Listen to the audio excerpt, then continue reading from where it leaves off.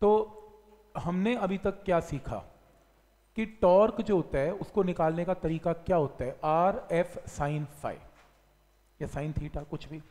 या एक और शॉर्टकट करवाया था force into perpendicular distance from the axis किया था हमने.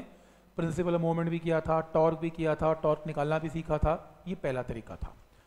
टॉर्क निकालने का एक और फॉर्मूला होता है. ये तो फॉर्मूला होता ही होता है. एक और फॉर्मूला है. कैसे? जैसे लॉज ऑफ़ मोशन में हमने फॉर्मूला किया था force is equal to mass into acceleration किया था। इस, उस चैप्टर में फोर्स यूज़ करते हैं। इस चैप्टर में क्या यूज़ करते हैं? टॉर्क उसमें एनर्शिया यूज़ करते हैं मास को और इसमें मोमेंट ऑफ़ एनर्जिया उसमें ए यूज़ करते थे, इसमें एल्फा तो एक और फॉर्मूला टॉर्क निकालने का। Torque is equal to I times alpha क्या ये पॉइंट क्लियर है यहाँ तक? अब टॉर्क निकालने के कुल मिला के कितने तरीके हैं आपके पास? दो। या तो आर एफ़ साइन वाई वाला, या फिर आई इंटू एल्फा वाला। क्लियर है यहाँ तक? अब अगर हम लॉज ऑफ़ मोशन में वापस चलें तो हमने क्या सीखा था कि आपके पास अगर वन के का मास है, इसके ऊपर 10 न्यूटन की फोर्स हमने लगाई और 2 न्यूटन किसी ने ऑपोजिट लगाई और इस सिस्टम ए के साथ मूव कर रहा है तो नेट फोर्स क्या है? नेट फोर्स है, बड़ी फोर्स में से छोटी फोर्स को क्या करना है? माइनस तो नेट फोर्स क्या है? बड़ी फोर्स माइनस छोटी force is mass into acceleration मैं ये कहना चाहता हूँ कि जब मैं फॉर्मूला बोलता हूँ एफ़ इज़ एम ए तो एफ़ का मतलब यहाँ पर फोर्स अप्लाइड नहीं है, यहाँ पर नेट फोर्स है। पॉइंट नंबर वन क्लियर उसी तरीके से जब मैं फॉर्मूला यूज़ करूँगा टॉर्क इज़ आई एल्फा तो यहाँ पर टॉर्क का मतलब क्या है? नेट टॉर्क है। क्यों? जैसे कोई भी एक डिस्क है डिस्क को एक फोर्स एक फोर्स यहाँ लगी जो डिस्क को ऐसे घुमा रही है। एक फोर्स यहाँ लगी जो डिस्क को ऐसे घुमा रही है। तो एक फोर्स क्लॉकवाइज घुमा सकती है, एक एंटी क्लॉकवाइज घुमा सकती है। और मान लो आपकी डिस्क क्लॉकवाइज घूम रही है तो नेट टॉर्क क्या होगा? क्लॉकवाइज माइनस एंटी क्लॉकवाइज और माइनस करना पड़ेगा। क्या ये पॉइंट क्लियर है यहाँ तक? ठीक है। तो टॉर्क इसके अंदर, जो नेट टॉर्क का मतलब क्या है? क्लॉकवाइज और एंटी क्लॉकवाइज टॉर्क का सब्ट्रैक्शन जो भी होगा नेट टॉर्क होगा। इज़ आई अल्फ़ा ये स्टेप क्लियर है। कैसे यूज़ करना है? अभी बताऊँगा इसको कैसे यूज़ करना है। बट ये समझ में आ रहा है कि टॉर्क का ये formula torque is I alpha कहाँ से आया? ठीक? ये मेरा तरीका है समझाने का कि देखो जैसे लॉज ऑफ़ मोशन करते थे, वैसे ही रोटेशन के अंदर कॉन्सेप्ट लग गया। लेकिन बुक्स ऐसे नहीं समझाती। बुक समझाती हैं कि देखो एक बॉडी है जो गोल घूम रही है और अल्फ़ा के साथ घूम रही है। अल्फ़ा का मतलब है कि स्पीड ओमेगा बढ़ती बढ़ती बढ़ती जा रही है। तो उसमें अल्फ़ा प्रेजेंट है। इसमें बहुत सारे पार्टिकल्स हैं। M one M two M three up to M N और बहुत सारे पार्टिकल्स की टेंजेंशियल एक्सलेशन भी होगी A one A two A three up to A N और बहुत सारे पार्टिकल जब घूम रहे हैं तो हर पार्टिकल पे टॉर्क भी होगा। तो अगर मैं फ़र्स्ट पार्टिकल का टॉर्क पूछूँ तो क्या होगा? Force into R one force F one into जो भी इसके ऊपर फोर्स लगी एफ़ वन इंटू इसका परपेंडिकुलर डिस्टेंस कितना है? आर वन और फोर्स क्या होता है? मास इंटू एक्सलेशन तो पहला टॉर्क कैसे निकलेगा? पहला टॉर्क निकलेगा आर इंटू एफ़ से। एफ़ क्या होता है? मास इंटू एक्सलेशन अब ये एक्सलेशन कैसी है? इसके लिए टेंजेंशियल है। क्योंकि ये अपने सर्कल में घूमेगा आर वन सर्कल में घूमेगा आर टू वाला आर टू सर्कल में घूमेगा आर थ्री वाला आर थ्री सर्कल में घूमेगा एंड सो ऑन तो इसके अंदर टेंजेंशियल एक्सलेशन एक है आर एल्फा तो इसके अंदर जो पहला पार्टिकल है A one is R one alpha A two is R two alpha A N is R N alpha तो यहाँ पे टॉर्क है आर इंटू एफ़ एफ़ क्या है? मास इंटू एक्सलेशन एक्सलेशन क्या है? आर एल्फा ये पहला टॉर्क आ गया। ऐसी सेकेंड पार्टिकल के टॉर्क में एम टू आर टू कर दो। थर्ड में M three R three N में एम एन आर एन कर दो। टोटल टॉर्क क्या होगा? सभी पार्टिकल के टॉर्क को मिला दो। सभी पार्टिकल के टॉर्क को मिलाएँगे तो क्या आ जाएगा? टोटल टॉर्क आ जाएगा। टोटल टॉर्क में अल्फ़ा को कॉमन निकाल लो तो क्या बचा? M one R one square M two R two square M three R three square जिसको क्या बोलते हैं? Total moment of inertia I तो फॉर्मुला क्या आ गया? Torque is equal to I alpha मेरे ख्याल से वो वाला तरीका ज़्यादा बेटर नहीं है। ये ठीक नहीं है? ठीक है। आएगा नहीं वो प्रूव करना वैसे, पर आपको किताबी बातें बताइए किताब कैसे करती है। तो किताब कहती है कि ये कोई तरीका नहीं है, जैसे F is M to A ऐसी टॉर्क आई अल्फ़ा ये कोई तरीका नहीं होता, ये तो हमारे तरीके हैं। बुक कहती है कि आप क्या करना है, आपने हर टॉर्क को मिलाना है और फिर प्रूव करना है टॉर्क इज़ आई एल्फा पर हम नहीं मिलाएँगे, हमने पता है कि torque is to I alpha formula exist करता है। ठीक है, यहाँ तक। इसके बाद इसकी जो एप्लीकेशन है, बड़ी इंपॉर्टेंट है। देखा लगता है क्वेश्चन लॉज ऑफ़ मोशन का क्वेश्चन है, जिसमें एक पुली है। पुली के यहाँ दो मासेज हैं थ्री के जी टू के जी और मुझे क्या निकालना है? इनकी एक्सलेशन निकालनी है। तो मान लो ये नीचे जा रहा है with an acceleration of A और ये ऊपर आ रहा है with an acceleration of A और अगर मैं कहूँ कि इसमें एक्सलेशन निकालो तो क्या करोगे? फोर्सेस ड्रॉ करोगे। ये फोर्स कितनी है? थ्री जी ये फोर्स कितनी है? टू जी मैंने लॉज ऑफ़ मोशन में सिखाया था कि tension T and T tension T and T जो सेम रहती है पूरी स्ट्रिंग में। इसमें सेम नहीं है। क्यों? क्या डिफरेंस है इस क्वेश्चन में लॉज ऑफ़ मोशन के क्वेश्चन में? उसमें पुली मासलेस थी। इसमें पुली का मास है। इसमें पुली का मास है। ये फ़र्क है। और जब पुली का मास है तो पूरे सिस्टम में कितने मासेज हैं? तीन। एक, दो और तीन। दो मास नहीं है। दो मास में एक टेंशन होती है टी एन टी तीन मास में इस और इस मास में tension T one T one इस और इस मास में tension T two T two clear है यहाँ तक? Tension T one T one T two T two तो ये याद रहेगा, अगर पुली का मास नहीं है, फिर तो टेंशन टी एन टी अगर पुली का मास है तो यहाँ पर tension T one T one यहाँ पर tension T two T two clear है यहाँ तक? टेंशन चेंज हो गई। अगर मुझे ए निकालना है इसका तो क्या रूल है? लॉज ऑफ़ मोशन का three G minus T two is three into A पहली इक्वेशन और ये ऊपर जा रहा है तो इक्वेशन क्या बनेगी? T one minus two G is two into A दो इक्वेशन क्लियर है यहाँ तक। सही है, पर एक प्रॉब्लम है। कितने वेरिएबल्स हैं? तीन। टी वन टी टू और ए जबकि लॉज ऑफ़ मोशन में टेंशन सेम होती थी तो वेरिएबल भी दो ही होते थे टी एंड ए इसमें तीन वेरिएबल्स हैं। क्या है पॉइंट क्लियर है यहाँ तक? अब मेरे को कम से कम कितनी इक्वेशन चाहिए? तीन। तो तीसरी इक्वेशन कहाँ से आएगी? पुली से। पुली को ट्रीट किया जाता है लाइक अ डिस्क याद रखना। पुली इज़ अ डिस्क तो पुली जो है, वो एक डिस्क है। डिस्क का फ्री बॉडी डायग्राम बनाएँ। डिस्क को अलग बनाते हैं। यहाँ पे टेंशन टी वन है, यहाँ पर टेंशन टी टू है। तो ये टेंशन टी वन है, टेंशन टी टू है। बन गया? एक बात बताओ कि अगर मैं यहाँ फोर्स लगा रहा हूँ टी टू तो पुली कैसे घूमेगी? क्लॉकवाइज और अगर यहाँ फोर्स लगा रहा हूँ टी वन तो टेंजेंशियल फोर्स से पुली कैसे घूमेगी एंटी क्लॉकवाइज ऐसे होगा। यहाँ से फोर्स लगेगी तो क्लॉकवाइज यहाँ से फोर्स लगेगी तो एंटी क्लॉकवाइज क्लियर है यहाँ तक? T2 भी टॉर्क जनरेट करेगा T1 भी टॉर्क जनरेट करेगा। और इसका एक्सिस ऑफ़ रोटेशन क्या होगा? पुली अल्टीमेटली घूम कैसे रही है? क्लॉकवाइज क्योंकि 3G बड़ा है और 2G छोटा है तो क्लॉकवाइज घूम रही है। और अगर ये क्लॉकवाइज घूम रही है तो एक्सिस ऑफ़ रोटेशन क्या है? ये एक्सिस ऑफ़ रोटेशन है। ऑब्वियसली इसके अबाउट घूम रही है ऐसे। तो एक्सिस है। तो T2 का टॉर्क क्या होगा? T2 two into perpendicular distance axis से कितना है? R तो क्या बनेगा? R इंटू टी और ऐसे इसके अंदर क्या बनेगा? R into T one minus क्यों किया? क्योंकि एक क्लॉकवाइज टॉर्क का एक एंटी क्लॉकवाइज टॉर्क है। तो क्लॉकवाइज टॉर्क बड़ा होगा एंटी क्लॉकवाइज टॉर्क की क्यों बड़ा होगा? क्योंकि अल्टीमेटली पुली क्लॉकवाइज घूम रही है। ठीक? नहीं? अगर मान लो ये 10 के होता, ये 3 के होता तो पुली कैसे घूमती? एंटी क्लॉकवाइज फिर T1 का टॉर्क बड़ा होता T2 का छोटा होता। इक्वेशन बनती T1 आर माइनस टी वो तो क्योंकि हमने ये मास बड़ा हमें पता लग चुका है कि क्लॉकवाइज घूम रहे हैं तो इसलिए क्लॉकवाइज बड़ा है। वो डिसाइड आपको क्वेश्चन में करना पड़ेगा। ठीक है यहाँ तक? तो ये क्वेश्चन क्लियर है, ये नेट टॉर्क है और मैंने आपको क्या सिखाया? आज जो नेट टॉर्क होता है, वो क्या होता है? आई इंटू एल्फा तो आई इंटू एल्फा ये रहा। अब पुली क्या है? डिस्क है। डिस्क का मोमेंट ऑफ़ नर्शिया क्या होता है? हाफ़ एम आर स्क्वायर तो हाफ़ एम आर स्क्वायर फिर ये देखो, ये जो पुली है, इस पुली की यहाँ की टेंजेंशियल एक्सलेशन ए है, क्योंकि 3g कैसे जा रहा है? ए के साथ। और इसका रेडियस क्या है? आर और ये घूम रहा है विद एल्फा तो अगर आपको याद हो सर्कुलर मोशन किया था हमने। सर्कुलर मोशन में इक्वेशन होती थी v is equal to R omega where v what tangential velocity और ऐसे एक और इक्वेशन है A is equal to R alpha where a is tangential acceleration तो ए एक्सलेशन पुली के लिए क्या है? टेंजेंशियल है। ये देखो ए एक्सलेशन टेंजेंशियल है। एल्फा पुली का हमें, मान लो एल्फा मान लेते हैं तो A is equal to R alpha तो एल्फा क्या होगा? ए बाय आर तो आप एल्फा की जगह क्या पुट कर सकते हो? ए बाय आर क्लियर है यहाँ तक? एक आर ये कट गया, एक आर इससे कट गया। तो क्या आ गई? इक्वेशन आ गई T two minus T one की। तो एक और इक्वेशन तैयार हो गई। दो इक्वेशन पहले तैयार हैं, एक और तैयार हो गई। इनको साइमल्टेनियसली सॉल्व करके T one, T two and A can be calculated बस लॉज ऑफ़ मोशन में एक एक्स्ट्रा टर्म है, वो है टॉर्क क्या स्टेप समझ में आया? तो काफ़ी लोग पूछते भी थे लॉज ऑफ़ मोशन से पुली का मास होता तो फिर क्या करते? मैं क्या कहता था, नहीं नहीं, इसको बाद में करेंगे। कहीं तो चुप हो जाता था, चलो, कोई बात नहीं। कहीं कहते, नहीं नहीं, सर, बताओ पुली का मास, अब कैसे बताऊँ पुली का मास होगा तो अब पाँच लेक्चर के बाद तो अब समझ में आया है कि पुली का मास है तो क्या है? उस टाइम कौन समझा देगा? अगर आप खड़े हो जाओ बोर्ड पे समझा दोगे?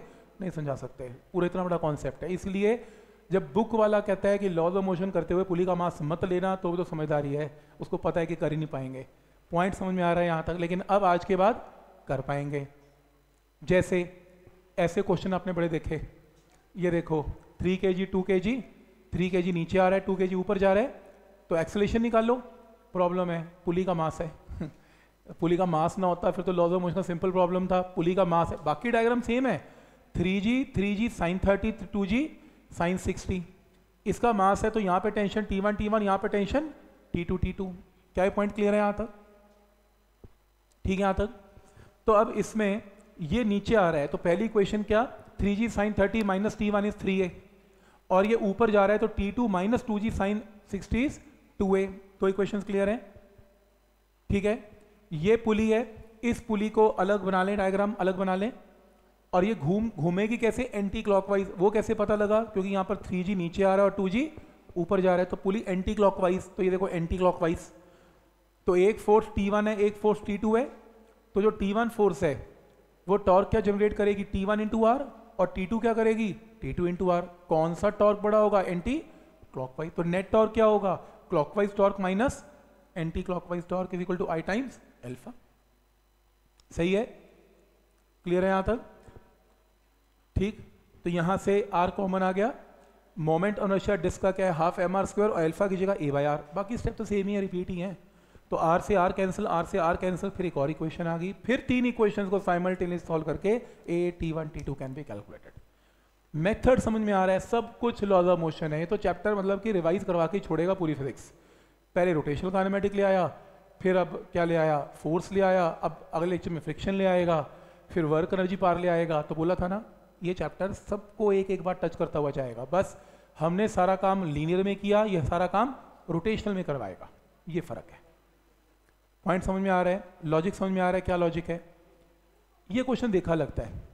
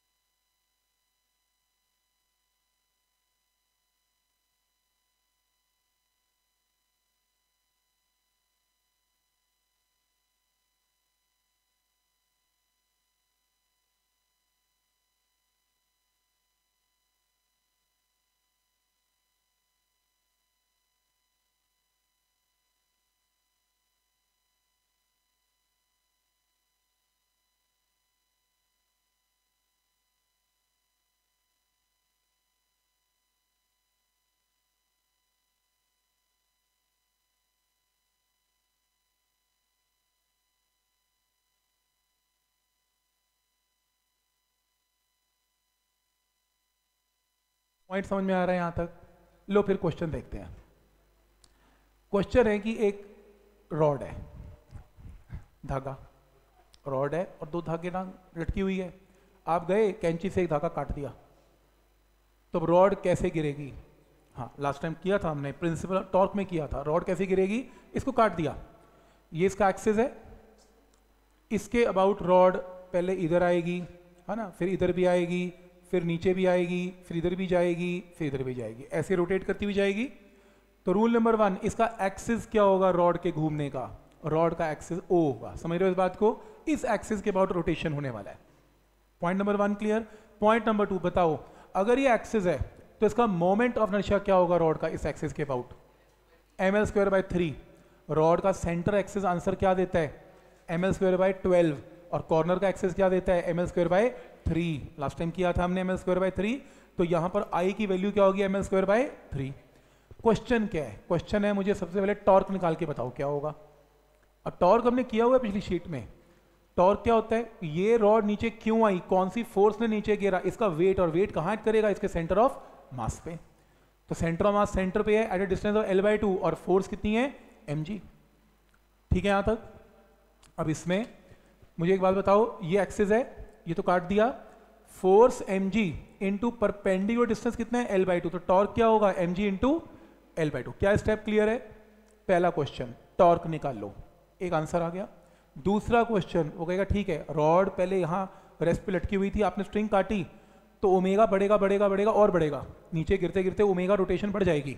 स्पीड बढ़ेगी स्पीड बढ़ेगी तो अल्फ़ा जनरेट होगा। तो बोला अल्फ़ा क्या होगा? अब टॉर्क के दो फॉर्मूला है। एक फॉर्मूला हमने निकाल लिया और दूसरा एक आई टाइम्स अल्फ़ा तो एक काम क्यों नहीं करते? इस टॉर्क को और आई अल्फ़ा को इक्वेट कर दो। इक्वेट कर दिया। आई का रॉड का मोमेंट और हमेशा क्या पुट करेंगे यहाँ पर? M L square by three solve करो एल से एल कैंसल अल्फ़ा आ गया। तो कैसे अल्फ़ा आएगा समझ में आ रहा है? अब इस लेक्चर में कुछ रोटेशन की फीलिंग आ रही है। चीज़ें घूम रही हैं। अभी तक तो अगर ये एक्सेस वो घूमे, अगर ये एक्सेस वो घूमे, घूमता थोड़ा था इक्विलिब्रियम ही चल रहे थे। अभी क्या है, सच में रॉड घूम रही है, समझ में आ रहा है? और ये समझ में आ रहा है, हमने मोमेंट और किया क्यों? अब समझ में आ रहा है, कितना बड़ा लेक्चर चला आई का, तब जाके समझ में आया कि रॉड घूमेगी तो अल्फ़ा कैसे जनरेट करेगी? पॉइंट क्लियर है तो एक अल्फ़ा आर एफ़ से निकलेगा और एक अल्फ़ा आई अल्फ़ा से निकलेगा तो वहाँ से अल्फ़ा कैन बी कैलकुलेटेड तो ये आंसर क्लियर है। तीसरा क्वेश्चन आएगा इसके ऊपर, कि जो सेंटर ऑफ़ मास देख रहे हो, ये रॉड का सेंटर ऑफ़ मास है, ये रहा। मैं रॉड स्ट्रिंग को काट रहा हूँ। सेंटर ऑफ़ मास कैसे घूमेगा, इसको देखना। ये रॉड यहाँ पर है, फिर ये रॉड यहाँ पर है, फिर ये रॉड यहाँ पर है, फिर ये रॉड यहाँ पर है। बताओ सेंटर ऑफ़ मास का पाथ क्या होगा? Centre of mass path linear होगा, गोल होगा सर्कल होगा एलिप्स होगा, क्या होगा? कितने लोग कहते हैं? सर्कुलर होगा। Centre of mass centre of mass पूछ रहा हूँ, किस पाथ में घूमेगा? देखें, यहाँ पर है, फिर जब रॉड यहाँ पे आएगी तो यहाँ पर आ गया। फिर रॉड यहाँ पे आएगी, यहाँ पे आ गया। फिर रॉड यहाँ पे आएगी, यहाँ पे आ गया। फिर रॉड यहाँ पे आएगी, यहाँ पे आ गया। रॉड यहाँ पे आ गई यहाँ पे आ गया। क्या पॉइंट क्लियर है? तो आप अगर इन्हें ज्वाइन करो सभी सेंटर ऑफ़ मासेस को, ये ये देखो तो पाथ फॉलोड क्या है? सर्कल को डाउट इसमें? तो सेंटर ऑफ़ मास किसमें घूम रहे हैं ना? सर्कल तो क्वेश्चन है सेंटर ऑफ़ मास का ए बताओ क्या होगा? एक्सलेशन ए बताओ। एल्फा तो रॉड का निकाल चुके, अब ए बताओ। तो acceleration of centre of mass क्या होगी? एक बात बताओ। जब ये यहाँ पे है सेंटर ऑफ़ मास टेंजेंशियल है, ये सेंटर ऑफ़ मास की एक्सलेशन है। जब ये यहाँ पर है तो सेंटर ऑफ़ मास ऐसे मूव कर रहा है। जब ये यहाँ पर है सेंटर ऑफ़ मास ऐसे मूव कर रहा है तो एक्सलेशन सेंटर ऑफ़ मास की हमेशा टेंजेंशियल रहेगी, समझ में आ रहा है? पूरे पाथ में acceleration of centre of mass tangential है, और सर्कुलर मोशन में ए क्या होता है? आर एल्फा ए जो होता है, उसका फॉर्मूला क्या होता है? आर एल्फा और हमने क्या निकालना है? ए तो निकालना है सेंटर ऑफ़ मास के लिए। अब सेंटर मास क्योंकि सर्कुलर पाथ फॉलो कर रहे हैं तो सेंटर मास का ए क्या होगा? आर एल्फा अब एल्फा निकाल चुके हैं पिछले पार्ट में। इस पूरे एल्फा को उठा के यहाँ पे पुट कर दो। Answer acceleration of centre mass आ गया। कोई डाउट इसमें? देखो कहाँ से कहानी स्टार्ट हुई थी। पहले टॉर्क फिर आई फिर आई के बाद एल्फा एल्फा से acceleration of centre of mass समझ में आ रहा है यहाँ तक? कोई डाउट इसमें? देखो, इसमें मैंने ये समझाया कि जैसे सपोज़ आपके पास जो रॉड थी वो कैसी थी ये देखो। आपके पास ये देखो। आपके पास ये रॉड है। ठीक? आपके पास ये रॉड है। ठीक? तो centre of mass centre of mass centre of mass centre of mass and centre of mass ठीक है? तो आपके पास ये रॉड है। तो ये सेंटर ऑफ़ मास ऐसे घूम रहे देख रहे हो सर्कल तो acceleration of centre of mass क्या होगी? टेंजेंशियल ये देखो। अगर आप रॉड को ना देखें, सिर्फ़ ये सर्कल देखें तो टेंजेंशियल है। और टेंजेंशियल एक्सेलेशन क्या होती है? Tangential acceleration is always equal to R times alpha तो एल्फा हमने पिछले पार्ट से निकाल दिया तो acceleration of centre of mass can be calculated कोई डाउट इसमें? पॉइंट समझ में आ रहे हैं यहाँ तक? ठीक है। तो ये इसके पास ये वैल्यू आ गई। नेक्स्ट है। इसी क्वेश्चन का आखिरी पार्ट है। टेंशन निकाल दो रॉड में क्या होगी। वो ऊपर स्ट्रिंग में क्या होगी? टेंशन एक स्ट्रिंग तो टूट गई, दूसरे में टेंशन क्या होगी? जब हम टेंशन निकालते हैं तो कॉन्सेप्ट किसका यूज़ करते हैं? लॉज ऑफ़ मोशन का। लॉज ऑफ़ मोशन में शेप मैटर करती नहीं है। रॉड की शेप बड़ी है, छोटी है, कोई फ़र्क ही नहीं पड़ता। आप ऐसा इमेजिन डायग्राम तो बड़ा डायग्राम है। एक रस्सी ऊपर थी, आप शेप ड्रॉ ही मत करें। आप इमेजिन करें कि यहाँ पर टोटल मास कितना है रॉड का? एम क्योंकि जब हम क्वेश्चन करते थे ब्लॉक का मास एम है ना? रॉड का मास एम कार का मास एम पॉइंट मास लेते थे। शेप मैटर नहीं करती उसमें। तो एम और इसके अंदर कौन इसको नीचे गिर रहा था? Weight M G. तो अगर ये नीचे गिरती है और सेंटर ऑफ़ मास पे मास एम है और ये रॉड नीचे गिरती है with an acceleration of a centre of mass तो ये ये बनेगा डायग्राम एम जी रॉड को नीचे लेके जा रहा है टी ऊपर है और रॉड नीचे गिर रही है with an acceleration of a centre of mass तो यहाँ से एम जी इक्वेशन क्या बनेगी? बड़ी फोर्स नीचे गिर रही है तो M G minus T is equal to M A तो यहाँ से acceleration of centre of mass हम निकाल चुके हैं। सॉल्व करके किसकी वैल्यू आ जाएगी? टेंशन टी की वैल्यू आ जाएगी।